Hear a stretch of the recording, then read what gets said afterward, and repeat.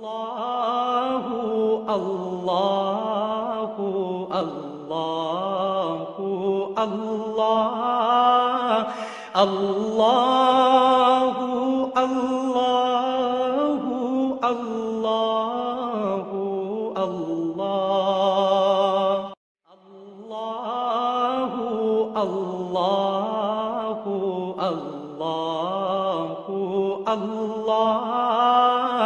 الله الله نحمده ونصلي على رسوله الكريم. أما بعد، فأعوذ بالله من الشيطان الرجيم. بسم الله الرحمن الرحیم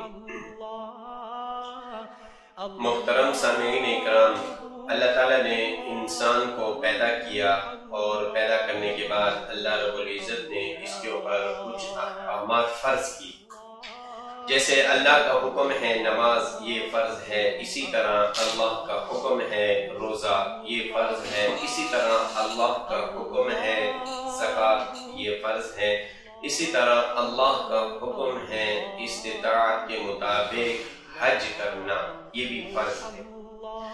اللہ رب العزت نے ان چیزوں کو اس لیے رکھا کہ انسان دنیا کے معاملات میں معاملات کو کرتے ہوئے اللہ تعالیٰ سے غافل نہ رہیں۔ دنیا کے معاملات، اپنی ضروریات، اپنی چیزیں سب کو رکھتے ہوئے اللہ کے حکم کو سامنے رکھنا یہ اولین انسان کی ترجیح ہونی چاہیے۔ انسان کے اوپر یہ احکامات فرض کرنے کا مطلب بھی یہی ہے کہ جب وقتاً فوقتاً انسان جب اللہ کے اس حکم کو پورا کرے گا تو وہ اللہ کے قریب ہوگا، اللہ کا قرب حاصل کرے گا، اللہ کے حکم کو پورا کرے گا، اللہ رب العزت سے ڈرتا رہے گا، اللہ کے احکامات کو پورا کرتا ہوا، اللہ کے حکموں کو پورا کرتا ہوا اپنی زندگی گزارے گا۔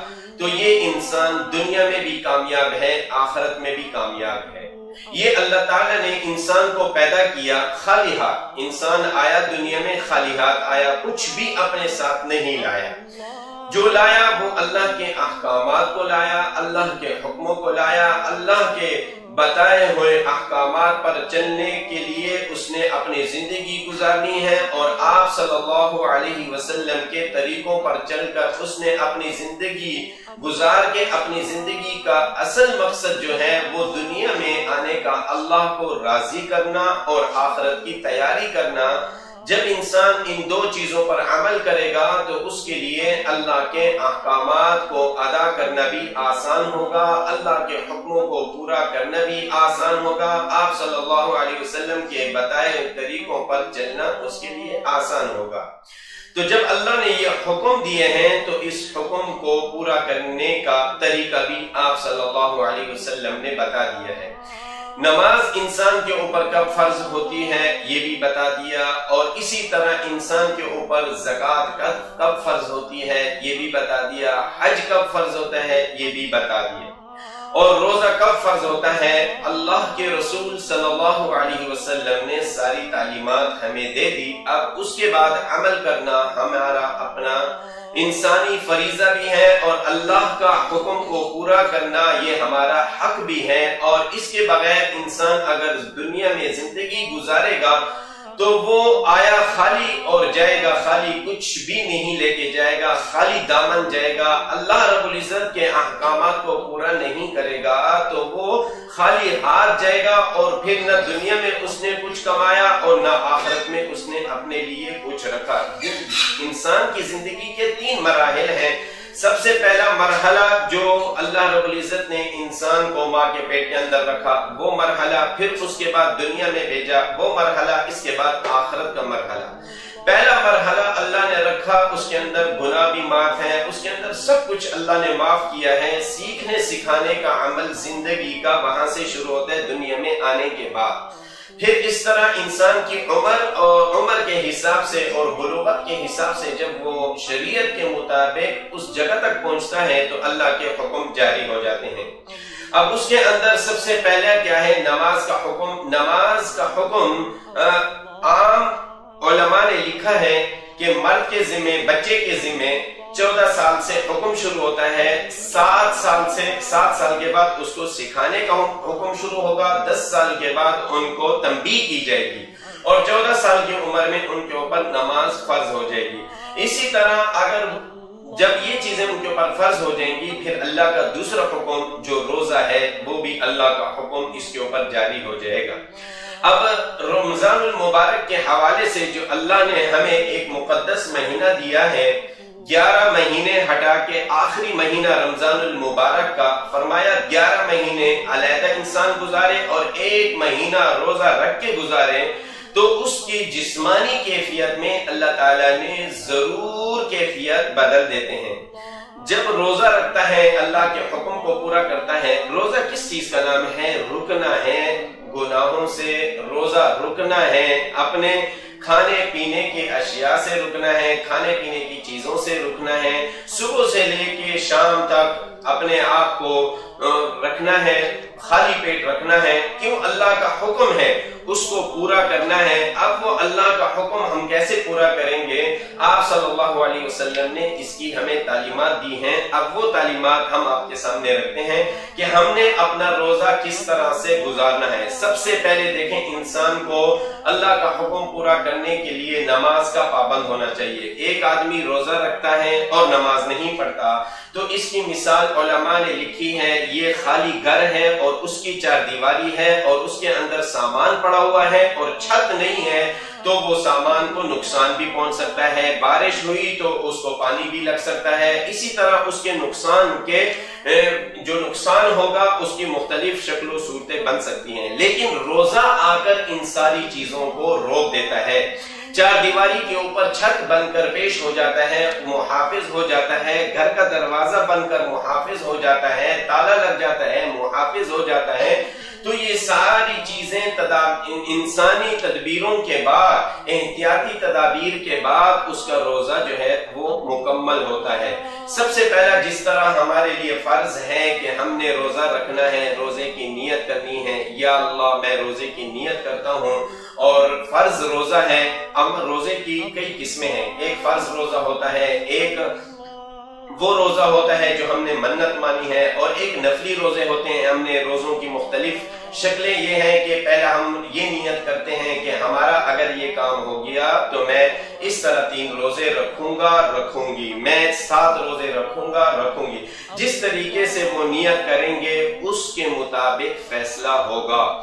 یہ ہو گیا نفلی روزہ اور ایک روزہ یہ ہو گیا کہ ایک آدمی نے منت مان لی کہ میں اس کام کو کرنے کے بعد میں روزے رکھوں گا اور یہ روزے میرے اس کام کے منت میں پورا ہونے کے لیے ہوں گے، تو وہ روزہ ان روزوں کی طرح فرض ہو جائے گا۔ اگر وہ نہیں رکھے گا تو گناہگار ہوگا۔ کیوں؟ اس نے اپنے اوپر ایسی چیز کو فرض کیا ہے، ایسی چیز کو اپنے ذمے لازمی قرار دیا ہے۔ اس نے ایسی چیز کو اپنے اوپر برقرار رکھا ہے، جس کا اللہ اور اللہ کے رسول صلی اللہ علیہ وسلم نے حکم نہیں دیا اور شریعت میں اس کے اوپر یہ فرض نہیں تھے۔ اس نے اپنے لیے بذات خود فرض کیے۔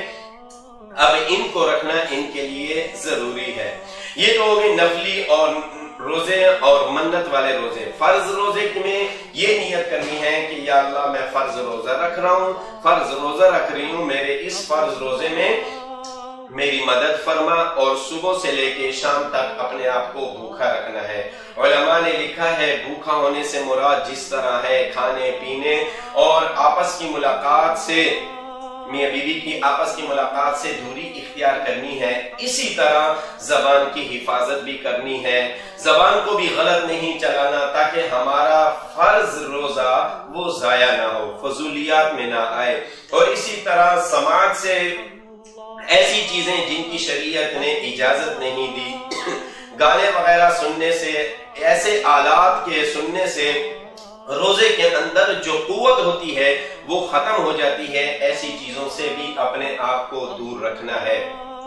غیبت سے بھی دور رکھنا ہے، چغلی سے بھی دور رکھنا ہے۔ یعنی زیادہ وہ دنیاوی گفتگو جو ہے، ان سے اپنے آپ کو دور رکھنا ہے۔ اور اسی طرح ذکر اذکار میں رگنا ہے، ذکر اذکار میں تسبیحات کی پابندی کرنی ہے، تسبیحات درو شریف بھی ہے، تیسرا کلمہ بھی ہے، پہلا کلمہ بھی ہے۔ اسی طرح سب سے زیادہ جو ترجیح دی گئی ہے وہ قرآن پاک کی تلاوت ہے۔ انسان قرآن پاک کی تلاوت کرتا ہے تو وہ اللہ سے مخاطب ہوتا ہے۔ اللہ تعالیٰ کے ساتھ باتیں کر رہا ہوتا ہے۔ اللہ تعالیٰ کے ساتھ اس کی محبت بڑھ رہی ہوتی ہے۔ وہ اللہ کے کلام کو پڑھ رہا ہوتا ہے۔ تو جب انسان اس کے اندر اپنے آپ کو لگا لیتا ہے، تو دنیا کی باتوں سے وہ دور ہو جاتا ہے۔ دنیا کے معاملات سے خود بخود دور ہو جاتا ہے۔ انسان دنیا کے معاملات کرے گا تو اس کے قریب بھی جائے گا۔ اور اپنی زبان پہ ذکر اذکار رکھے گا۔ اللہ کا ذکر کرتا رہے گا، اللہ کو یاد کرتا رہے گا۔ تو انشاءاللہ یہ دنیا کے کاموں میں بھی مصروف ہوتے ہوئے بھی اللہ سے غافل نہیں رہے گا۔ اللہ کی محبت کو پاتا رہے گا، اللہ کے ساتھ قرب حاصل کرتا رہے گا، اللہ کے دیوے انعامات کو وصول کرتا رہے گا۔ شاکر زبان ہوگی تو اللہ کے قریب ہوگا۔ تو روزے کے اندر ان چیزوں کا اہتمام بہت ضروری ہے۔ اس کا علماء نے لکھا ہے، سب سے پہلے ہم تراوی کے اندر قرآن پاک کو سنتے ہیں۔ ایک تو وہ قرآن پاک ہے۔ اور ایک وہ قرآن ہے جو ہم اپنی بذات خود منزل کے حساب سے ہم اس کو دہراتے ہیں۔ جیسے حفاظ اکرام حفاظ اکرام کے لیے تین پارے ہیں۔ عام جو ناظرہ پڑھنے والے ہیں، ان کے لیے کم از کم دن کے اندر ایک پارا تاکہ ہم سب نیت کریں کہ رمضان المبارک کے اندر ہم ایک قرآن پاک کو مکمل ختم کریں۔ کیوں؟ قرآن پاک کو اللہ رب العزت نے رمضان المبارک مقدس مہینے میں اللہ رب العزت نے اس کو نازل کیا۔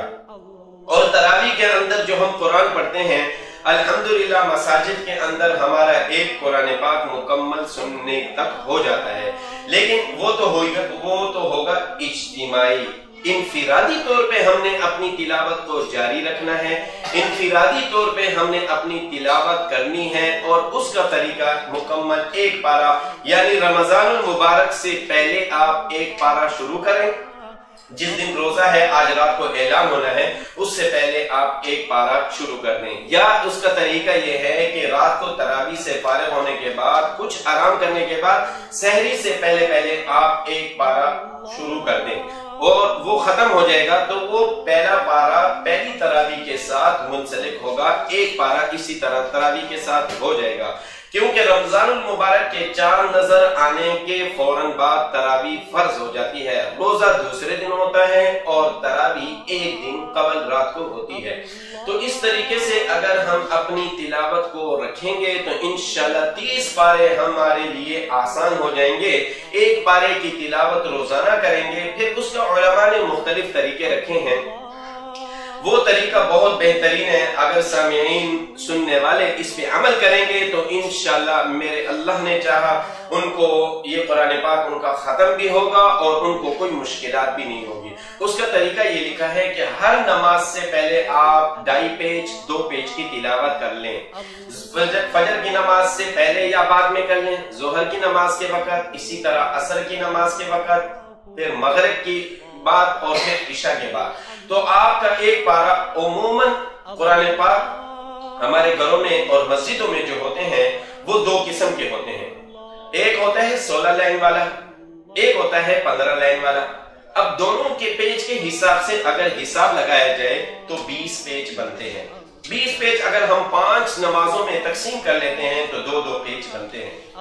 اسی طرح اگر ہم اس تلاوت کو جاری رکھیں گے تو ہمارے لیے پڑھنا آسان ہوگا اور اسی طرح تمام سامعین سے گزارش کی جاتی ہے کہ جس طرح ہم اس مہینے میں تلاوت کی پابندی کرتے ہیں، اسی طرح گیارہ مہینے بھی اللہ کے ہیں۔ ہم اس میں بھی روزانہ اگر اسی طریقے سے پابندی کریں گے تو اللہ کے دو حکم پورا کرنا ہمارے لیے آسان ہوگا۔ سب سے پہلے نماز پڑھنا، فکر ہمیں یہ رہے گی، اس کے بعد قرآن پاک کی تلاوت کرنا۔ تو ہمارے دونوں فرائض ادا ہوتے رہیں گے۔ تو تلاوت کا یہ طریقہ ہے اور الحمدللہ سما الحمدللہ، اپنے جاننے والوں میں سے بہت سارے لوگوں کو یہ دیکھا ہے، اللہ رب العزت ان کو اور توفیق دے۔ اور اللہ رب العزت ان کے پڑھنے میں برکت دے۔ وہ روزانہ ایک قرآن پاک کی تلاوت صبح سے لے کے شام تک کرتے ہیں۔ ایسے لوگ بھی دیکھے ہیں۔ قرآن سے محبت ہوتی ہے، ان کے الفاظ بھی یہی ہوتے ہیں کہ قرآن سے ہمارا روزہ بھی محفوظ رہتا ہے اور ہم دنیاوی باتوں سے بھی بچے رہتے ہیں اور اللہ کے قریب بھی ہوتے ہیں اور ہمارا دل بھی خوش ہوتا ہے اور رمضان المبارک میں ہماری روزانہ ایک قرآن پاک ختم کرنے کی ترتیب ہوتی ہے اور ایسے گرانے بھی دیکھے ہیں جو بذات خود انفرادی طور پہ اپنا ایک قرآن ختم کرتے ہیں اور پھر گھر میں بیٹھ کر سب گھر والوں کو روزانہ دو دو پیج، تین تین پیج سناتے ہیں، اس حساب سے بھی ختم کرتے ہیں۔ رات کو اپنے ترابی کا اہتمام کرنے میں وہاں بھی ایک قرآن پاک سنتے ہیں۔ تو اسی طرح ان کے پانچ سے چھ قرآن پاک ہو جاتے ہیں۔ اور جو لوگ ایسا کرتے ہیں، اللہ رب العزت ان کو توفیق عطا فرمائے۔ قرآن پاک کی تلاوت سے دل منور ہوتا ہے، دل روشن ہوتا ہے۔ دنیا کی میل اس کے اندر سے ختم ہوتی ہے۔ دل اللہ کا گھر ہے۔ اس میں کسی کو آنے کی اجازت نہیں، سوائے اللہ کے۔ اس میں اللہ کی محبت کو پیدا کرنا ہے۔ اللہ کی محبت کو لانا ہے۔ اللہ رب العزت کے قریب ہونا ہے۔ اور اللہ رب العزت کا قرب حاصل کرنے کے لیے قرآن پاک کی تلاوت کو کرنا ہے اور سننا ہے اور سنانا ہے۔ الحمدللہ ہمارے ہاں قرآن پاک کی تلاوت میں حفاظ اکرام کی بہت بڑی تعداد ہے۔ ایک وہ دور تھا کہ لوگ ایک علاقے سے دوسرے علاقے تک سفر کرتے تھے کہ ہمیں ایک حافظ مل جائے اور ہم قرآن پاک سن لیں ترابی کے اندر۔ لوگوں کو اسی طرح حافظ مل بھی جاتا تھا اور بعض دیہاتوں میں حافظ نہیں ملتا تھا، تو وہ آپس میں جو جو صورتیں ان کو یاد ہوتی تھی، ان کے اوپر پابندی کر کے ان کو تلاوت تراوی کے اندر سنا دیا کرتے تھے۔ پھر ایک دور ایسا آیا کہ حفاظ اکرام کی تعداد بڑھ گئی۔ اب وہ دور ہے کہ الحمدللہ سم الحمدللہ حفاظ اکرام کی تعداد زیادہ ہے۔ ہم نے دیکھا ہے بہت سارے گھروں میں بچے نے حفظ کیا اور وہ گھر کے اندر قرآن پاک سناتا ہے۔ دس روزہ، بارہ روزہ، پندرہ روزہ، اٹھارہ روزہ، اکیس روزہ، چوبیس روزہ، چھبیس، ستائیس، انتیس روزہ۔ ہر بچے کی، ہر گھر کی اپنی ترتیب ہوتی ہے۔ ہر مسجد کی چھت پہ، مسجد مدارس کے کمروں میں اور سہنوں میں اسی طرح قرآن پاک کی تلاوت جاری ہوتی ہے۔ الحمدللہ، اللہ نے ہمیں حفاظ کی تعداد دی ہے۔ اور حفاظ اکرام سے بھی میں درخواست کرتا ہوں کہ اس مہینے کو بالکل اپنے لیے ایسا سمجھ لے کہ یہی مہینہ ہمارا سیزن ہے۔ سیزن سے مراد یہ ہے کہ ہم نے اس میں سن، قرآن پاک کو سنانا ہے اور ہر صورت میں سنانا ہے۔ جو یہ کر لیتا ہے، اللہ رب العزت اس کے لیے آسانی پیدا کرتے ہیں۔ اور حفاظ، اکرام اس چیز کی پابندی کریں کہ قرآن پاک سناتے ہوئے رمضان المبارک کے اندر کوئی نامہ نہ ہو۔ ہر سال قرآن پاک و علماء نے لکھا ہے کہ جو قرآن پاک کی، قرآن پاک تلاوت، قرآن پاک کی تلاوت تراوی کے اندر سناتا ہے اور تیئیس سال تک کوئی ناغہ نہیں کرتا۔ اللہ رب العزت قرآن پاک کی نورانیت اس کے دل کے اندر کھول دیتے ہیں۔ الحمدللہ الحمدللہ، ہم نے خود اس کو تجربہ کر کے سنا کے دیکھا ہے، آج تک کوئی ناغہ نہیں ہوا۔ اس سال انشاءاللہ ہم پچیسواں مسلح بذات خود میں سناؤں گا۔ اور پچیس میں تیئیس مسلح میرے مکمل ہو گئے ہیں۔ تیئیس قرآن پاک، تیئیس سال تک بغیر ناغے کے بیماری بھی آئی۔ اس کے اندر تکلیفیں بھی آئیں، اس کے اندر سفر بھی رہا۔ اس کے اندر بہت مشکلات بھی آئیں، پر ترادی کو نہیں چھوڑا۔ آج الحمدللہ سمع الحمدللہ کوئی حافظ بھی قرآن پاک کی تلاوت کر رہا ہوتا ہے، تو فوراً اللہ تعالیٰ دل میں ڈال دیتا ہے، یہ پارا ہے، یہ صفحہ ہے، یہ رکوع ہے، یہ صورت ہے، اور یہ اس طرح کی لکھائی ہے۔ اللہ نے وہ فوٹو سٹیٹ جیسی مشین دماغ کے اندر فٹ کر دی، ہر چیز اللہ نے انعام کے طور پہ دے دی۔ یہ اللہ رب العزت کا انعام ہے، اور جن حفاظ کو اللہ نے یہ ایک انعام دیا ہے، اللہ نے ان کے اوپر یہ مہربانی فرمائی، اللہ نے اپنا احسان کیا، ان کو قرآن پاک کی تلاوت اور قرآن پاک کو حفظ کرنے کا موقع دیا ہے۔ وہ رمضان المبارک کے اندر قرآن پاک کو ضرور سنائے۔ اور اسی طرح جو بچے سنا رہے ہیں، ان کے والدین کے لیے بھی یہ بات بہت ضروری ہے کہ وہ اپنے بچوں کے اوپر اس چیز کی پابندی کروائیں۔ بہت سارے حفاظ اکرام کو دیکھیں، دیکھا ہے کہ سارا سال دکان کا کام کرتے ہیں، کاروبار کرتے ہیں اور اس مہینے میں بھی کاروبار کرتے ہیں، پر تلاوت اور ترابی سنانے کا ضرور اہتمام کرتے ہیں۔ وہی والدین سے میں درخواست کرتا ہوں کہ سارا مہینہ اپنے بچوں سے کام بھی کروائیں، ان کو اپنی تربیت بھی دیں اور ان کو اپنے جو آپ کے روزگار ہیں وہ بھی سکھائیں، سب چیزیں دیں۔ لیکن جب رمضان المبارک کا مہینہ آئے تو دل کھول کے ان کو فارغ کر دیں۔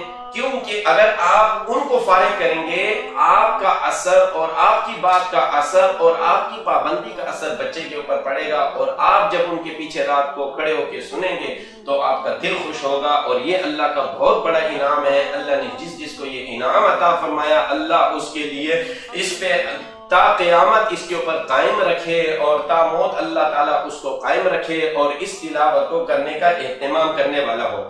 اور جو لوگ گھروں کے اندر تلاوت کرتے ہیں، وہ اپنی تلاوت کو جاری رکھیں، اللہ کا قرب حاصل کریں، روزے کو محفوظ کریں۔ دنیا کے حالات ایسے حالات ہیں کہ جب ہم بیٹھتے ہیں، دو چار بندے بیٹھتے ہیں، تو اچھی باتیں، ہم ایک دوسرے کی جب غیبت کرتے ہیں، بری باتیں کرتے ہیں، تو اس کے ہمیں دلچسپی ہوتی ہے، اس کے اندر ہمارا دل لگا ہوا ہوتا ہے، ہمیں ہنسی مذاق کا موقع ملتا ہے، ہمیں دو باتیں کرنے کا زیادہ موقع ملتا ہے۔ اس کی وجہ کیا ہے؟